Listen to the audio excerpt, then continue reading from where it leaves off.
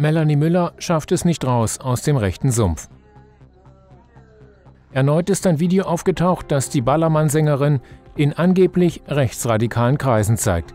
Dieses Mal als Zuschauerin bei einem Freefight-Kampf. Organisator Steffen S. soll fest im Rocker- und Hooligan-Milieu verankert sein, berichtet Spiegel Online.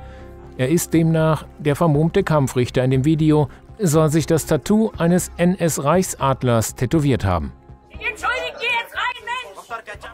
Der Kampf fand demzufolge am 14. August auf dem Hinterhof eines Metallhandels im Leipziger Norden statt. Im September waren zwei Videos von Melanie Müller von einem Auftritt vor der Hooligan-Truppe Rowdies Eastside aufgetaucht. Das nehme ich für mich zum Oktoberfest bei den Rowdies Eastside. Ich freue mich auf In einem feuert Müller die Meute mit dem Schlachtruf Ostdeutschland an, hebt dabei immer wieder den rechten Arm.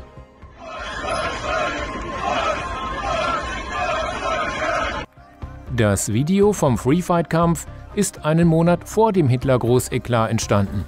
Laut Veranstalter soll Melanie Müller spontan zum Kampf gekommen sein. Dem Spiegel sagte sie, sie sei begeisterter Boxfan.